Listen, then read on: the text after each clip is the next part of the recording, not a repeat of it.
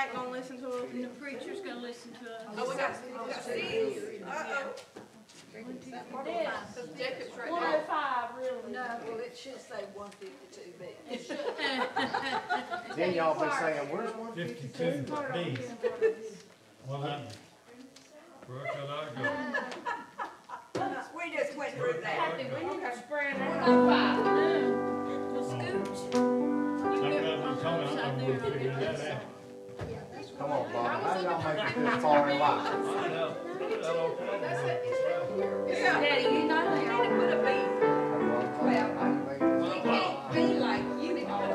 Hey, good, good evening. Good evening. Good to see you back out today. Looks like people got their belly fulls today. Um, but glad y'all chose to come out this way. Let's just worship the Lord tonight. Pray for the choirs.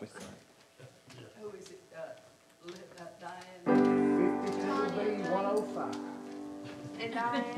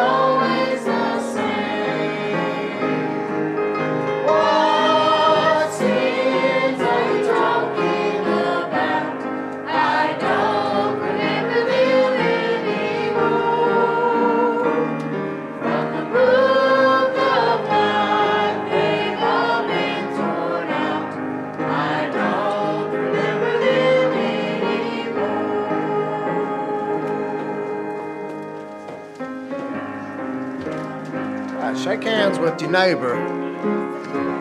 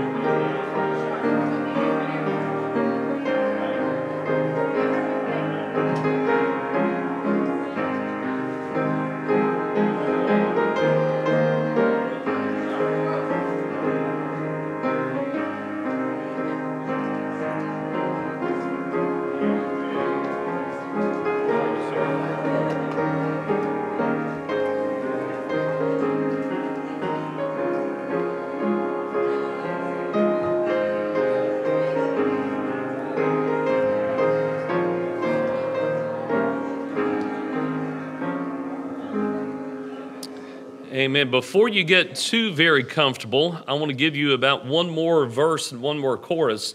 Everybody move up just a little bit. Even even come over here. Brother David did take a shower before church today, so you guys can move over here and even be on that side. But everybody move up a little bit tonight.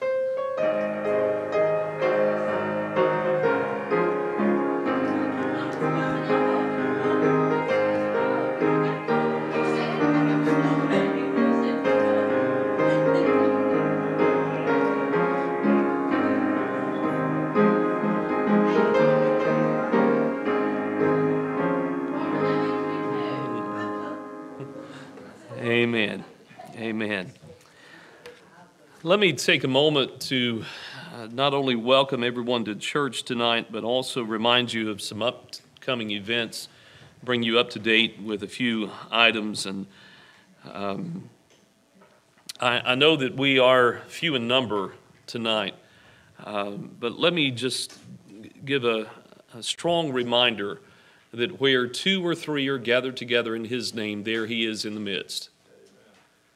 Uh, that's, that's not an excuse to only have a few in church, but it is a reminder that if we meet for the right reason, uh, that God blesses it. And uh, I do appreciate so very much you being in church tonight. I don't ever take those sorts of things for granted.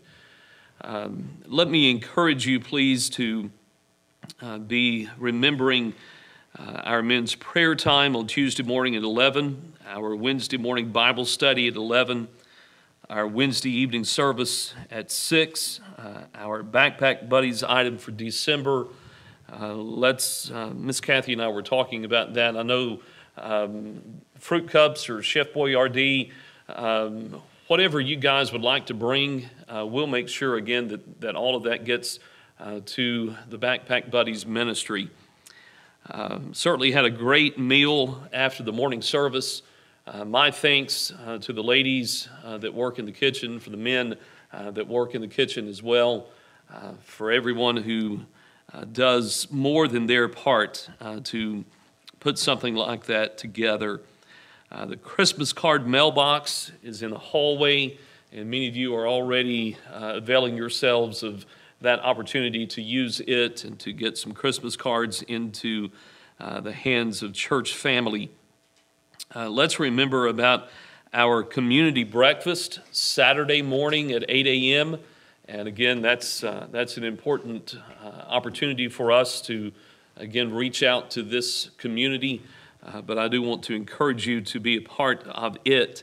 Invite someone uh, to come and bring somebody with you uh, all of those sorts of things in regards to the community breakfast. I'll come back up in just a few minutes and mention some prayer requests, but Brother Chris is coming right now as we worship the Lord in song tonight. Brother Chris. 330. 330, first, second, and last.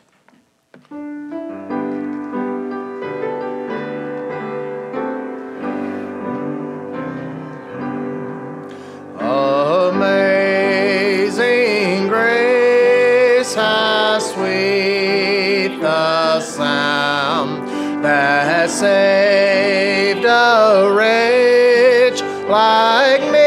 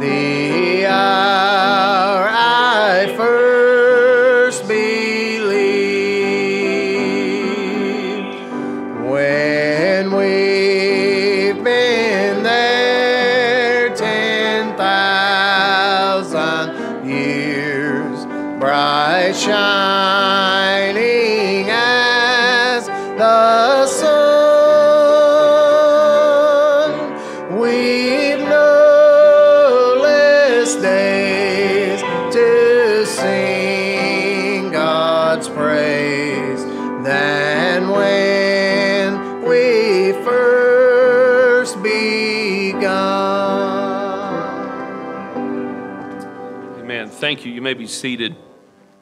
I want you to continue to pray for Miss Joanne Wiley, as well as Brother Tommy Jones, and also for Bonnie and Tommy's son Todd, who is still in the hospital in Shelby. Uh, keep praying for several families that are dealing with sicknesses right now as long, uh, along the lines, I should say, uh, as we continue to pray for the family of Debbie Parker. Uh, Ms. Phyllis Gillespie had some uh, procedures done this past week, had some tests run. We want to continue to pray for her and uh, ask the Lord's hand to be upon her. Uh, does anyone else have any special spoken prayer objects? Brother Billy Dixon is at home uh, today, having injured his back at work on Wednesday. And uh, he's been to the doctor, but he's got uh, some serious pulled muscles in his back right now. So we want to pray for him. Miss Faye. Oh, my goodness. Let's pray for Brother Dickey and Miss Faye's son Mike uh, that has pneumonia. Pray for him tonight.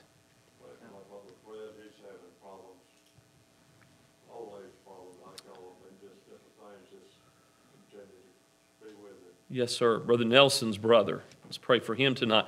Mark Wiley is at home, uh, not feeling well as his uh, blood sugar dropped to like 47 this afternoon.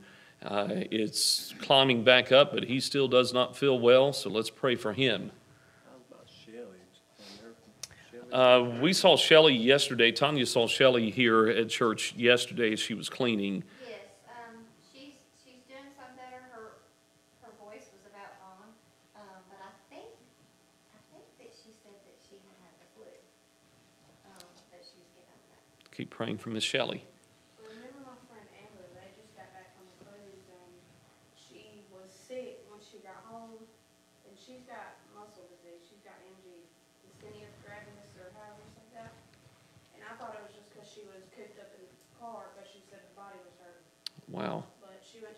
Today and she's got a flu. Wow, let's pray for Taylor's friend. Miss Catherine had raised her hand. Him, but Michael, he is not doing well at all. Physically, his health is just really down. I mean, Yes, ma'am. Pray for Miss Catherine's son, Michael. Anyone else tonight? Any other special spoken objects? Brother David. A couple of families, uh, prayed for, uh, Billy Jackson, a lifelong friend of mine, he passed away Monday, and the word a couple of days ago when, um, he was uh, actually on his way back from the doctor, his nephew was taking the doctor, he died the car on the way back. home. Wow. But it's, pray for his family, and I al- also have a friend, Cherry Sprouse, his wife Brenda, both friends of mine from Blacksburg. Uh, Miss Brenda, she passed away about a month ago, and Cherry's going through some real deep depression. Yes, sir. You know, I mean, we talked the other day, and of course, he usually breaks down, you know, when I'm just talked about it, he said he had never been so lonesome in his life. He's Yes, sir. married Now, and him and Brenda been married for many, many years, and, you know, he don't know, he didn't know what to do with himself. Yes, sir. So he's going through a lot of sir. Pray for Brother David's uh, two requests tonight. Someone else?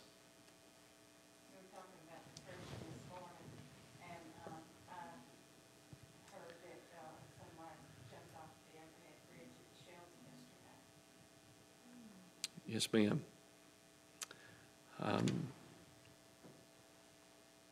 It's a very, um, very sobering topic, but even in the video that I showed you this morning, it spoke about the fact that uh, suicides rise during the month of December.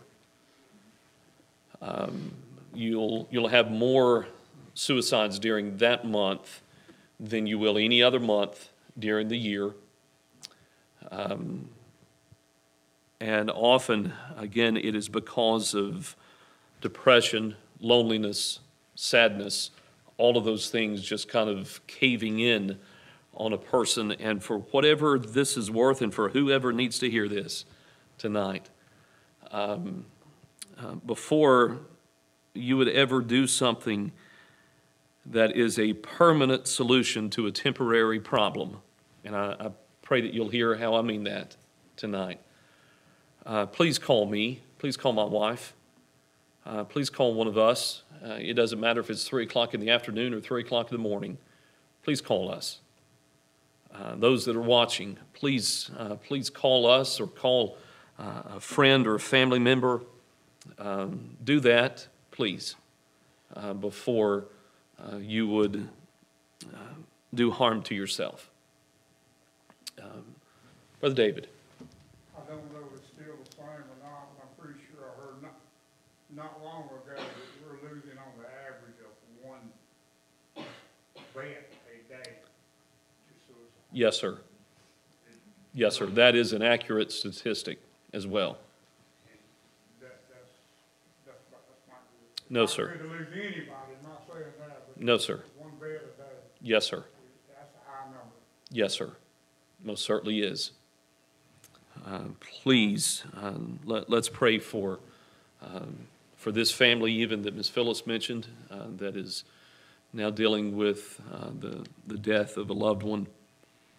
Um, Many things to consider tonight. Other special spoken objects that are on your hearts. There's a boy I went to school with, he wrecked his motorcycle on the way to work back in September, and they had to his leg, and he made a status yesterday that he has a date set to get his prosthetic. Yes, ma'am. Let's pray for this young man, Josh. Josh.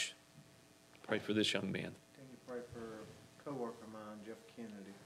Jeff Kennedy, a co-worker of Brother Chris's that has throat cancer. He told me that the doctor told him he had ninety-nine percent, that they would get everything, and that he had a ninety-nine percent survival rate, so. He was Amen. only stage one, so that was good. Amen. Amen. Keep praying for this request. Anyone else tonight? Miss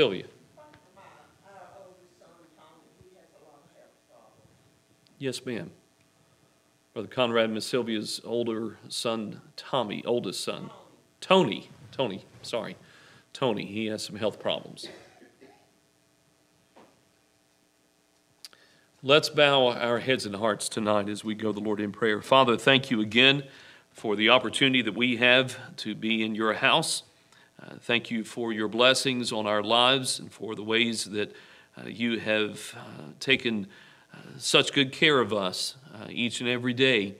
Uh, many times, ways that we uh, overlook or that we take for granted or that we don't realize how that you have protected us you, uh, you kept uh, a reckless car from coming across our path, or uh, you caused us to delay for a minute or two. And uh, in doing such, uh, Father, you protected us, and we praise you for that tonight.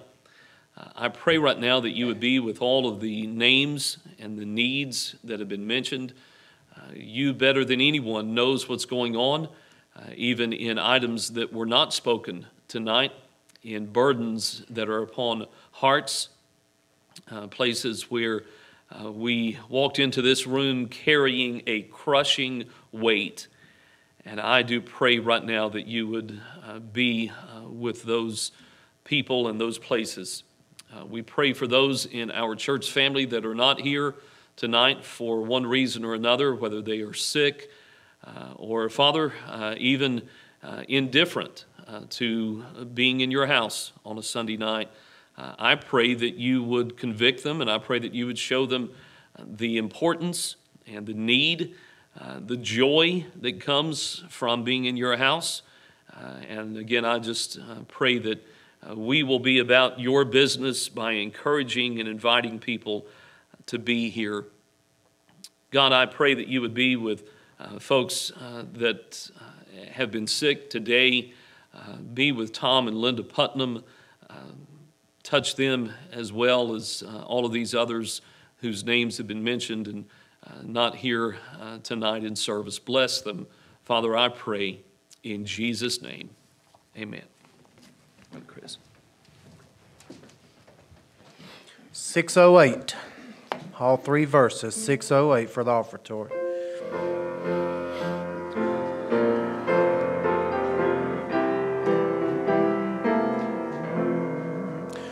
O land of rest for thee I sigh, when will the moment come? when I shall lay my armor by and dwell in peace at home. We'll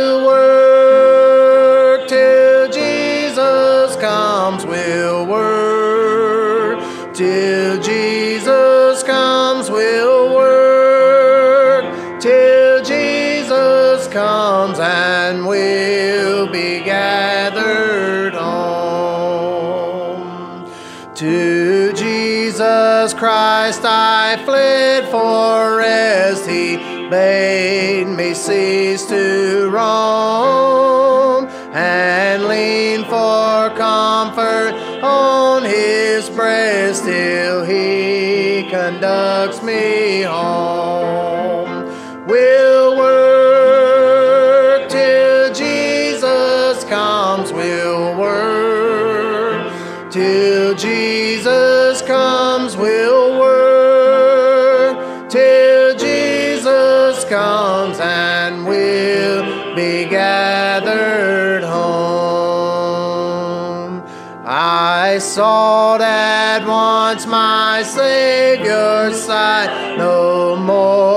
my steps to roam. With him I'll brave death's chilling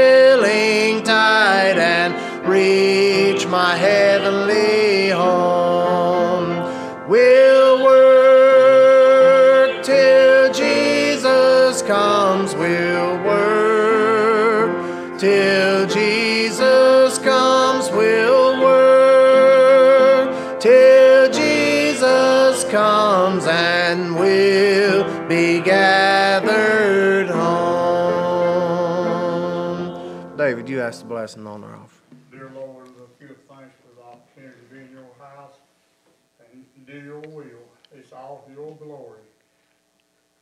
Everybody that was mentioned earlier on prayer requests, it just, it's, go out and minister to their needs. There's so many people in this world having hard times that we know about, and we're not even scratching the surface of the people that we don't know about. That's right.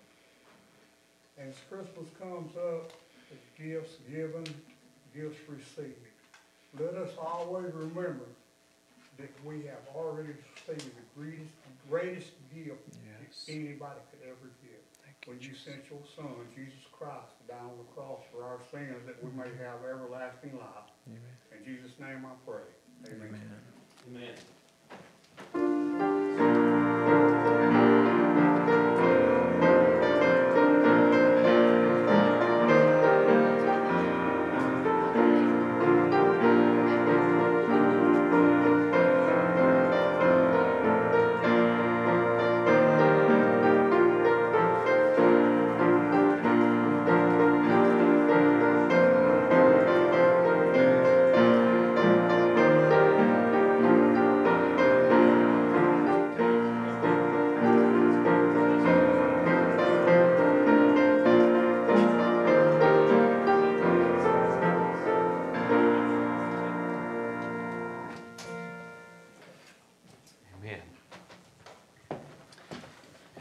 Thank you, musicians. Thank you for ministering to our hearts tonight. And again, it is good to see everyone in church this evening.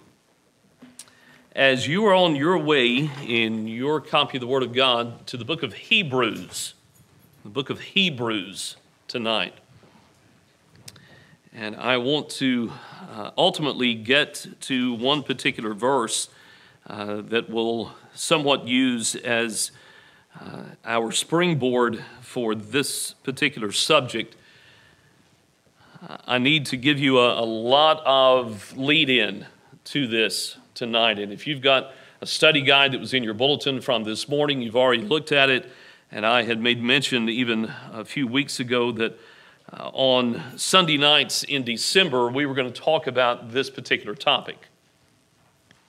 For the next couple of weeks, we will look at some things that are unseen. And I say that to you, and it's like all of God's people said, huh? That we're going to look at some things that are unseen. We will study some pertaining to the spirit world around us. Now, I say that to you tonight, and I want to make sure that we are all somewhat plugged in on the same page and thinking in the same vein tonight.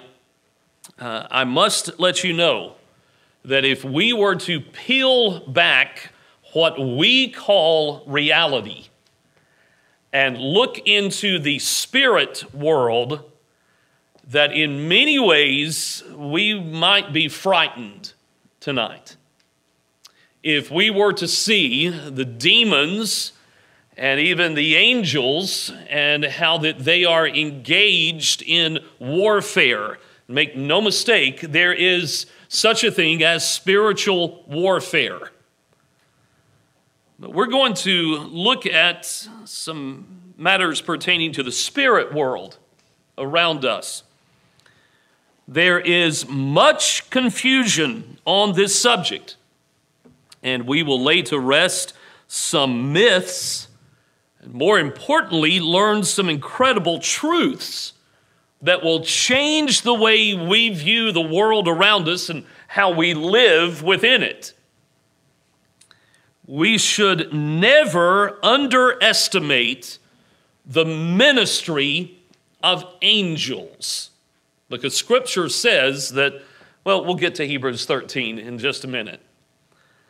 Angels have a job to do in our lives and in this world. The world is not too interested in Bible doctrine today, but in the last few years, last several years, actually, there uh, is a subject that has the world's attention, and that subject is angels, believe it or not. From Oprah to Fox and Friends, to television and movies and dozens of books, there has been a flurry of interest concerning angels. Even various personal accounts seem to pique the curiosity of millions of people around the world. Uh, it will not be long again before someone will sell a piece of toast that they have put in their toaster that has miraculously come out of it with an image of an angel on it, and they'll sell that on eBay for hundreds of thousands of dollars, tens of thousands of dollars. I'm not making that up, by the way, that happens. Again, even various personal accounts pique the curiosity. A few years ago, Tanya and I lived near a lake where a dad and his young son were fishing one night. Somehow they capsized their boat and were presumed to have drowned.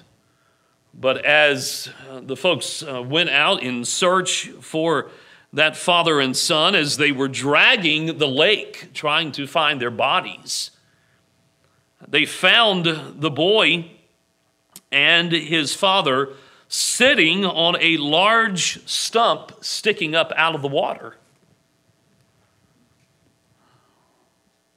they told, the father and son told how they thought they were going to drown.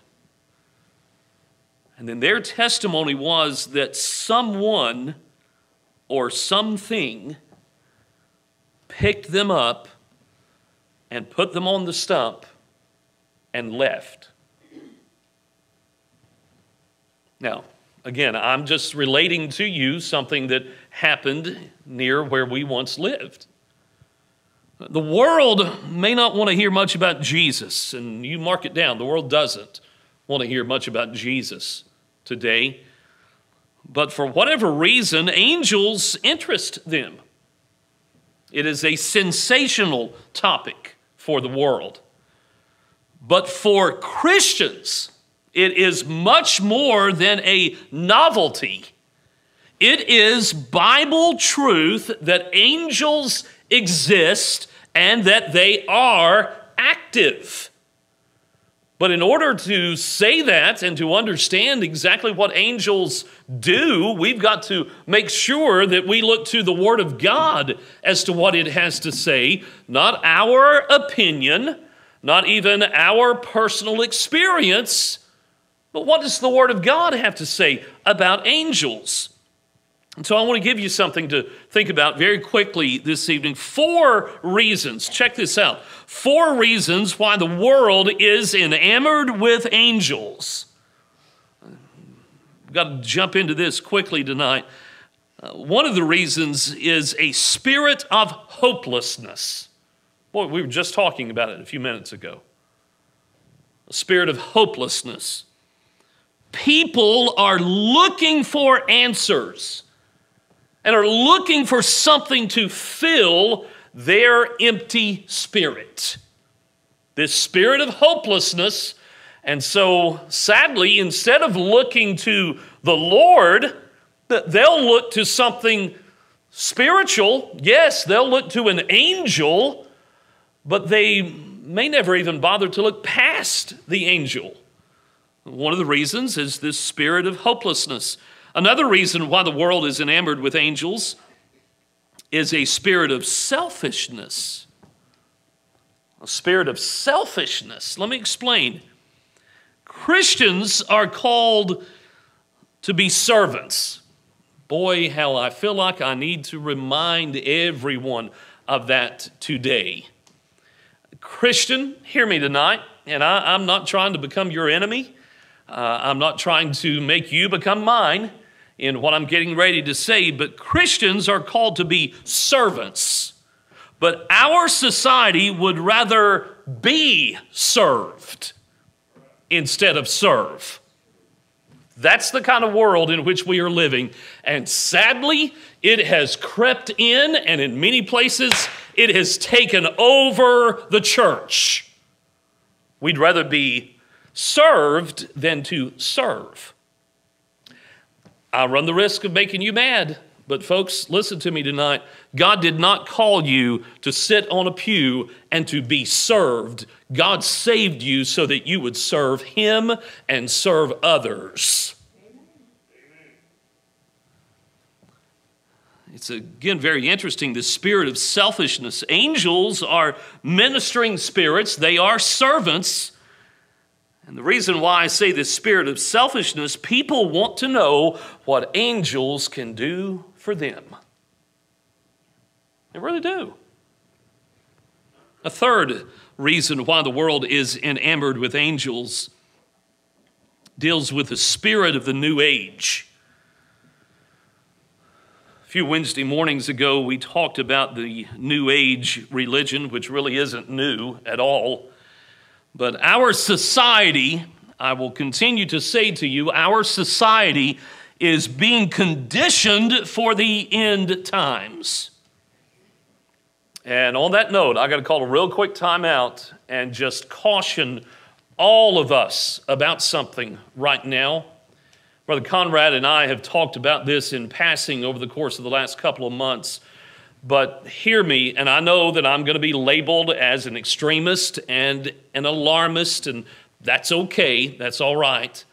You better watch what's going on from the White House concerning America's position with Israel. you better watch out. And you better see because right now, statements are already being made. Vice president talked about how uh, they, they better, Israel better be doing things the way that America wants them done. That was the gist of it all. You can go back and watch the press conference uh, that Israel uh, needs to make sure that, that they are uh, being humanitarian in dealing with Hamas and all the innocent lives of Palestinians that are being lost. Folks, let's, let's stop right there and realize no innocent lives would have been lost had Hamas not done what they did. Israel has every right to defend herself. Okay, and they are not occupying the land, they own the land because God has already decreed that. Well, this spirit of New Age, our society is being conditioned for the end times. The world will accept the supernatural during the tribulation.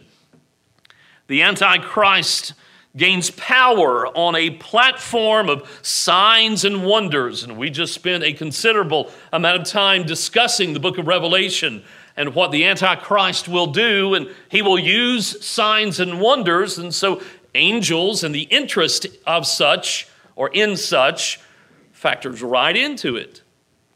There's a fourth reason why the world is enamored with angels a spirit of curiosity. A spirit of curiosity.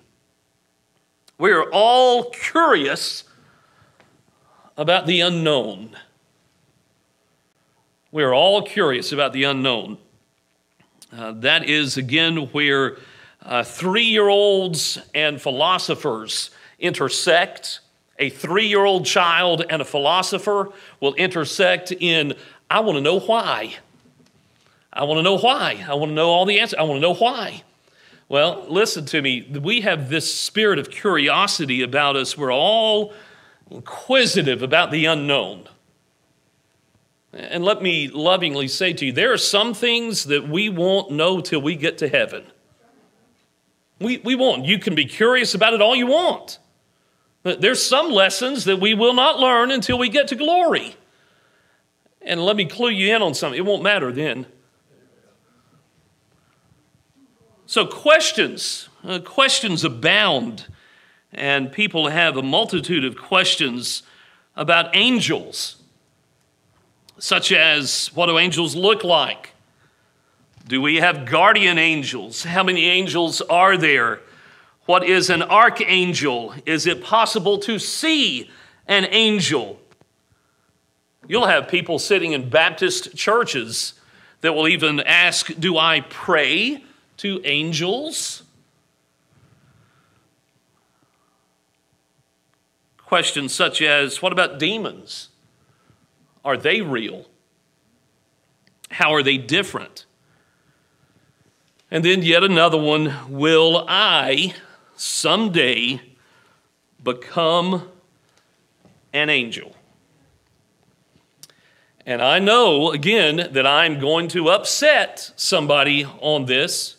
And I'm not trying to be, be your enemy, I'm not trying to make you mad. But with all due respect, when, when I shuffle off of this mortal coil, if that were to happen sometime soon, please do not put on Facebook that heaven needed another angel in the heavenly choir and that I gained my wings. I'm not going to. Neither are you. We do not become, some of you are going, oh my goodness. Pastor, I didn't know you felt that way. We're going to have a vote tonight to see whether or not we want to have you continue on as our pastor. You don't become an angel when you die. Uh, this series, the couple of nights that we'll spend on this topic, will answer these questions and many more. Uh, the world is interested in angels for all the wrong reasons. But we have good reason to be interested and there is way too much about this in Scripture to ignore it. Uh, even right now, some may ask if I have ever seen an angel every day when I look at my wife. I see one. Uh, Jesus believed in angels. Jesus referred to angels on several occasions. The Apostle Paul did the same. As far as I know, I have never seen an angel. But the Bible indicates that I probably have and just don't know it. Now everybody's going, huh? Uh, look at it with me Hebrews 13, verse 2, where the Word of God says, Be not forgetful to entertain strangers, for thereby some have entertained angels unawares. Okay, let's find out exactly what that does mean when we talk about what the verse of Scripture have entertained angels unawares. It could very well be that the Lord sent an angel by your way one day, and you didn't realize that it was an angel. It could have been someone that stopped you in the parking lot of a mall or a grocery store, held you up just long enough, as I prayed just a moment ago, to let that reckless car go past you instead of hitting you on your way home. Angels, my friends, are mentioned. I think this is on your study guide tonight. Angels are mentioned over 250 times in the scriptures. Over 250 times. Hey, if God mentions it once, uh, we ought to pay attention to it. Once is enough. But to mention angels 250 times, it is a topic at which we should look. And so let me give you some things to consider as we think about uh, tonight, specifically five different thoughts pertaining to angels and a biblical description of such. Uh, number one, the word angel literally means messenger. It literally means messenger. Let's go all the way back months and a couple of years ago now, it feels like, to when we started our study in the book of Revelation. We would get to Revelation chapter 2 and into chapter 3 unto the angel of the church at Ephesus, unto the angel of the church of Smyrna, unto the angel of the church at Pergamos, all through all seven of those churches in the book of Revelation, unto the angel. Well, at that time, what is being referenced is unto the pastor or the messenger for that church. You didn't realize that pastors were angels, did you? Uh, the word literally means messenger. And on numerous occasions, in fact, we saw this morning looking at Luke chapter 1 that Gabriel showed up and delivered a message to Mary. So, an angel, literally, the word literally means messenger. Number two, angels are created spirit beings. Now, I'm going to mention some of these items and then go into a degree of detail. Angels are created spirit beings. God created them as spirits before the foundation of the world and before there was time. From where do we get such? From the Word of God. Look at Psalm 148, starting in verse 1. Praise ye the Lord. Praise ye the Lord from the heavens. Praise him in the heights. Praise ye him, all his angels. Praise ye him, all his hosts. Praise ye him, sun and moon. Praise him, all ye stars of light.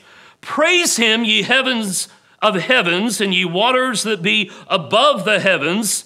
Let them praise the name of the Lord, for he commanded and they were created. The entire context of right there is talking about everything in Psalm 148, verses 1 through 5. Everything that, that has been mentioned, God created.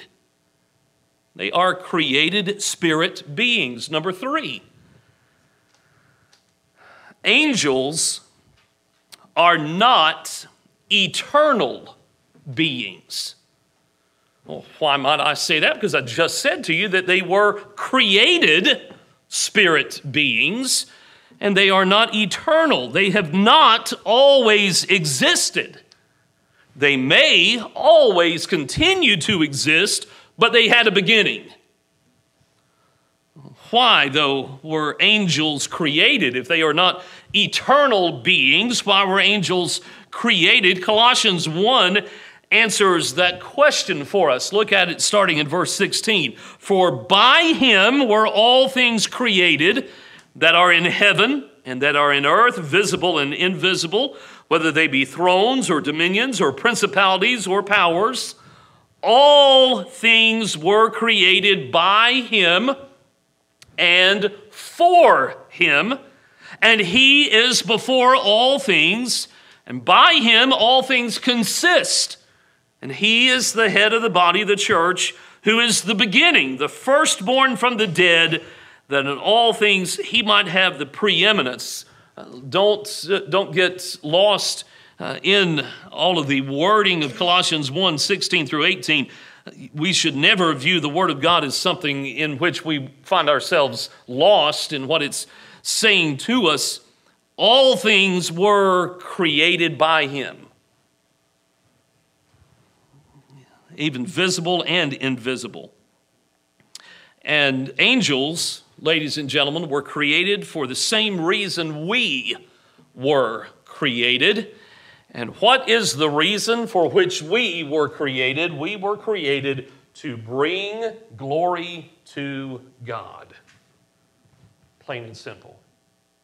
Oh, Pastor, I, I thought I was created so that I could do whatever I wanted to. I, thought once I got saved that I could live my life however I well pleased. Don't know where you got that. You certainly didn't get it from the Word of God. We were created just as angels were created for His good pleasure and to bring glory to Him. Stop right there. Are you, am I, fulfilling the purpose for which we were created? Are we bringing glory to God in all that we do and in all that we say? Never lose sight of the fact that we were created to bring glory to God. Number four, Angels are not glorified human beings. And I have already alluded to this tonight, but let me go ahead and, and burst the bubble even more. When someone dies, there is usually somebody who says, God needed another angel in the heavenly choir and I don't want to trouble you tonight, but that is not true. Humans do not become angels when they die. You, you again will wonder from where in the scriptures do we get such a thought and such a position. Psalm 8, starting in verse 4, will remind us What is man that thou art mindful of him, and the Son of Man that thou visitest him? For thou hast made him, meaning man or Son of Man even, a little lower than the angels, and hast crowned him with glory and honor. So, once again, to just make sure that we're all believing the same thing, because that's, that's important in our world, and it's certainly important in our church. You do not become an angel when you die.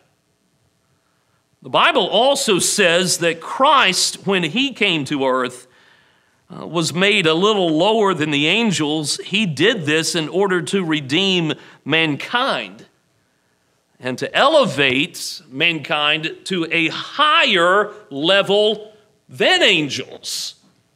And this is where it gets kind of interesting because Hebrews 2, verse 9 reminds us But we see Jesus, who was made a little lower than the angels for the suffering of death, crowned with glory and honor, that he, by the grace of God, should taste death for every man. And again in Ephesians 6, verse 12 reminds us For we wrestle not against flesh and blood, but against principalities against powers, against the rulers of the darkness of this world, against spiritual wickedness in high places. There is, again, real spiritual warfare. And that's why I say to you that if we were granted the spiritual vision to be able to see into the other world, into the spirit world, Brother David Wyatt, it would curl our hair or cause it to stand up, or we'd be a little bit taken aback by it. Angel literally means messenger. Angels are created spirit beings. Angels are not eternal beings. Number four, angels are not glorified human beings. Number five, angels are invisible spirit beings. Now, I say that, and somewhere somebody's going, nah, now, wait a minute. Uh, aren't there times when angels make their presence known and when they would even appear as human beings? Yes, they would take on a human appearance. But for the most part, we are not going to see them again unless the Lord blesses us with us entertaining an angel unawares, going back to Hebrews 13 2. You with me? This means yes. Amen even works better.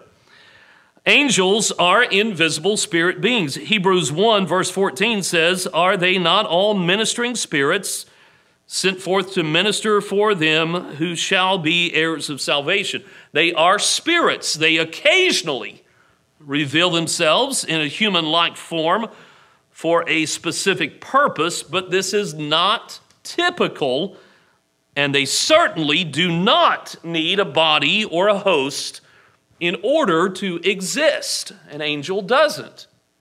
Now, we can go all the way back to the book of Genesis. We could talk about it uh, just outside of the Garden of Eden. We can go into an episode with Lot in Sodom and Gomorrah when there were angels that visited Lot in an attempt to try to get him and his family out of Sodom. And so, again, angels can reveal themselves in human like form. Well, it has been long said that a picture is worth a thousand words. So here is an Old Testament picture for you to consider tonight. It begins in 2 Kings 6, verse number 8. Follow along with me. Then the king of Syria warred against Israel and took counsel with his servants, saying, In such and such a place shall be my camp and the man of God sent unto the king of Israel, saying, Beware that thou pass not such a place, for thither the Syrians are come down. And the king of Israel sent to the place which the man of God told him, and warned him of, and saved himself there, not once nor twice. Therefore, the heart of the king of Syria was sore troubled for this thing. And he called his servants and said unto them, Will ye not show me which of us is for the king of Israel? And one of his servants said, None, my lord, O king, but Elisha the prophet that is in Israel telleth the king of Israel the words that thou speakest in thy bedchamber. Boy, this is such an interesting passage, and I'll stop right there for a minute. It's amazing how God had revealed to Elisha uh, things that the king of Syria uh, thought he was keeping to himself. King of Syria, Brother David, wondered is somebody here being a spy? Uh, uh, are they telling the king of Israel things that they shouldn't? I want to find out right now who the spy is. No, king. Um, Elisha, uh, he's telling the king of Israel the words that you're speaking in your bedchamber. I, I think you need to get this idea in your mind. The people of Syria believe God is somehow letting Elisha know their plans.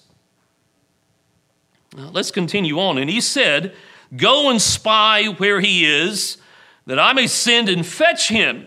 And it was told him, saying, Behold, he is in Dothan. Therefore sent he thither horses and chariots and a great host, and they came by night and compassed the city about. And when the servant of the man of God was risen early and gone forth, behold, an host compassed the city, both with horses and chariots. And his servant said unto him, Alas, my master, how shall we do?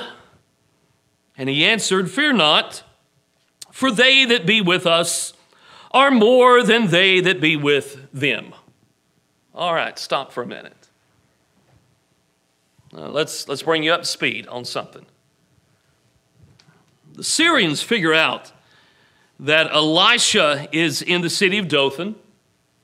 Elisha's servant wakes up one morning, yawns, stretches, scratches, and he heads to the front porch to get the paper. I'm being facetious right there. But he looks up and he sees the entire city surrounded by the Syrian army. There in front of him is the Syrian army. Uh, he runs to Elisha. And can you not again imagine a little bit of this conversation? Can you not hear him say, uh, Boss, we're in trouble? We're, we're in deep, deep trouble right here. And Elisha looks out and says, No problem.